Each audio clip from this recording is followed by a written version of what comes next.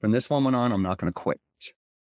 Right. From this moment on, I'm going to give everything my best shot. We can't change the exterior environment, whether it's COVID, Mhm. whether it's cancer, no matter the situation, but it's how we deal with from the inside, Yes. you know, and, and it just right time, right place. And that's what life is about when these tumblers come together, a blessing.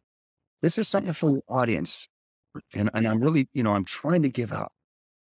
I want your audience to really receive this. There's listening and there's receiving. If you have two people tell you something, especially word for word, in a matter of a day or two, that is God talking to you. Mhm. You have three or four people tell you the same bloody thing in a matter of a week. That is God screaming at you to pay attention and heed and heed because God is busy. God's going to move on. Parents are going to move on. You know, you're